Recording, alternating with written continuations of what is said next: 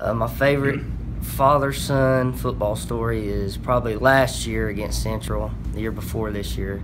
Um, it was late in the fourth quarter. Uh, we haven't thrown a pass all all game, rushed it 48 times I think, and uh, we finally throw it, and it's a big touchdown. It's to win the game, and uh, I'm running off the field. You know, everybody's going crazy, and kind of pick my dad out from everybody else, and I'm going to give him a big hug, and uh, Darren Reese uh, captures a pretty unbelievable picture of it, uh, just hugging and just, you know, just looking back and all the hard work and how many years I've been with him, just loafering at the high school, just watching practice. Just, you know, I think that that just that image uh, captured just everything that that had happened over the last however many years. It was just great.